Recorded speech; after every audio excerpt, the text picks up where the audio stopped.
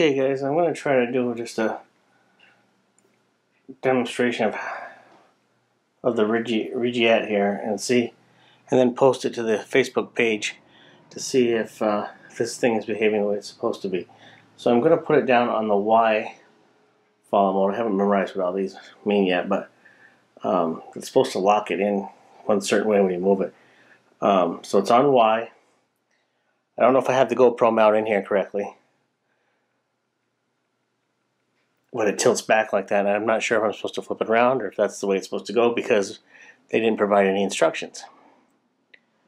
So I've got it balanced there pretty good. I'm going to power it on.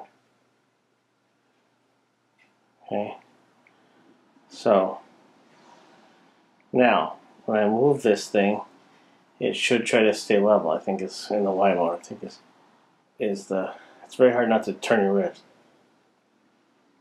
So when you get to the very end of the extreme range like that, it bumps. Well, it's probably because I'm going too fast.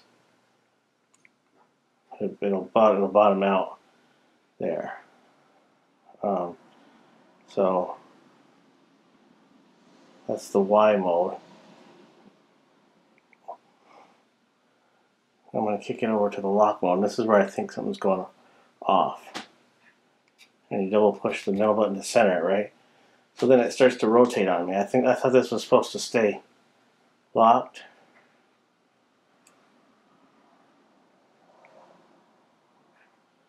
Let's see if I can get it to do it. Or I guess if I do this.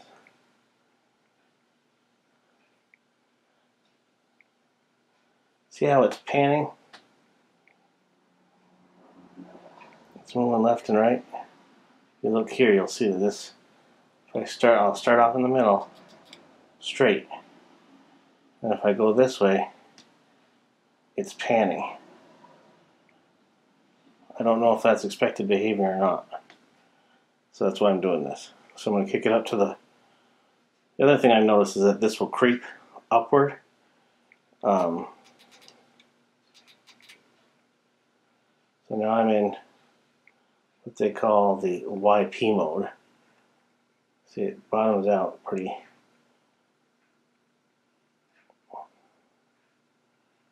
This is supposed to follow up and down. Of course, you got to get used to how fast it moves.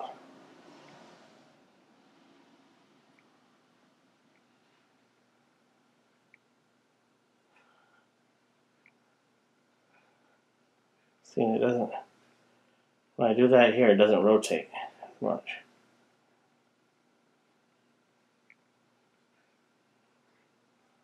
I'm going to go back back to center. Kick it back down to the, this is my issue. I don't know if this is standard, if this is standard behavior, somebody tell me. I'll see, now it's not, I guess it is doing it.